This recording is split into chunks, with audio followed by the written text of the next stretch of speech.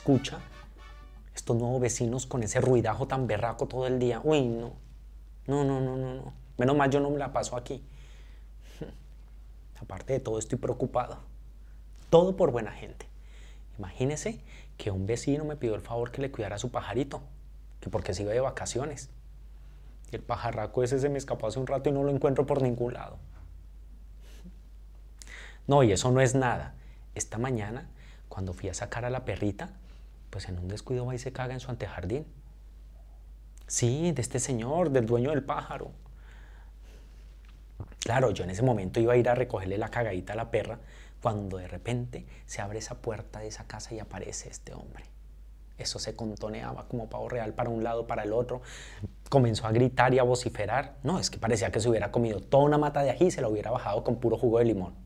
Y no hacía sino decir que iba a sacar a la perra de esta casa fuera del barrio y que iba a expulsar también a todos los perritos de aquí de la cuadra. Imagínense. Y que todo eso se lo había contado el pajarito. Esto es cosa de locos. Mm.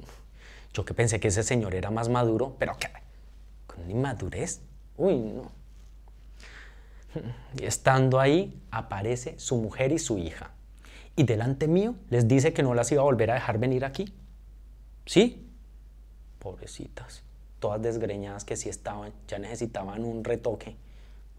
No, eso sí, la mujer se le paró de frente y le dijo que le iba a hacer huelga de calzones, cucos, piernas cruzadas. Bueno, mejor dicho, que nada de tenga, tenga.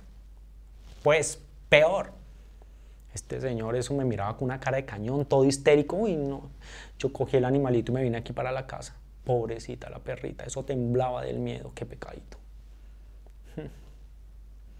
Y al rato de estar aquí, comienza este señor a lanzar naranjas y piedras. Sí. Desde ahí, desde el patio de, su casa. Aquí. Uy, no, no, no. Y una silbadera.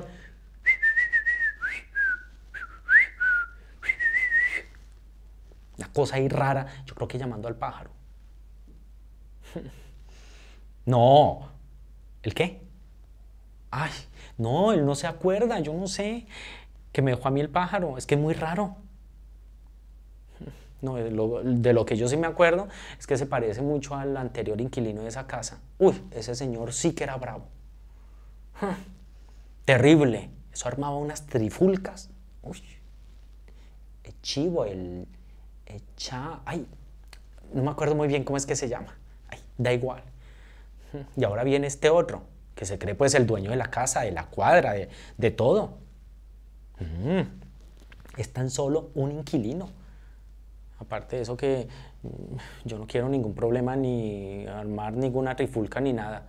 Porque es que dentro del gremio de los peluqueros y peluqueras hay un premio que se llama el pelucón de oro. Le entregan por allá en un país, en Austria, no sé. Claro, es para el peluquero que genere paz, armonía. y yo me lo quiero ganar.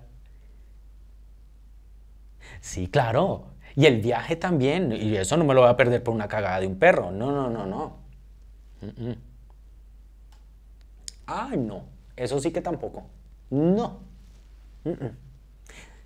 Dejar que saquen a los perritos de aquí del agua. No.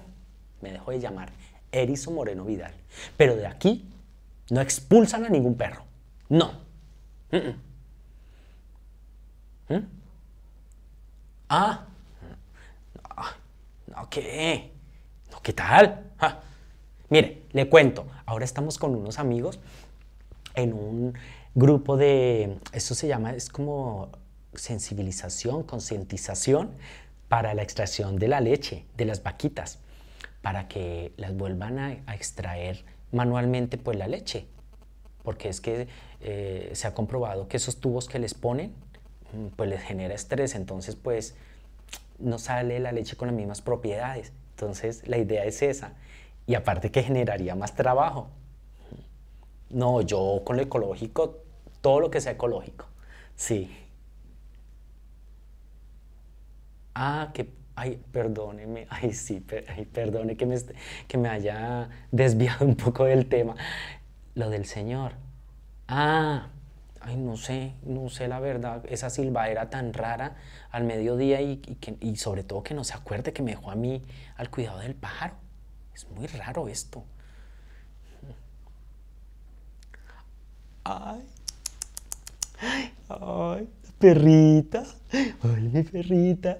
Hola, la perrita bella. Ay. ¿Y dónde está su mamá? Debe estar por allá en un concierto, ¿no?